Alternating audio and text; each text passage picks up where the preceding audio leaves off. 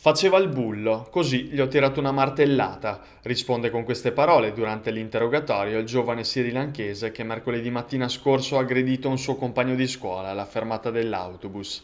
A giustificare l'atto violento quindi il desiderio di vendetta sul sedicenne di origine kosovare che stando alla nota ufficiale della questura avrebbe preso in giro ripetutamente il suo aggressore.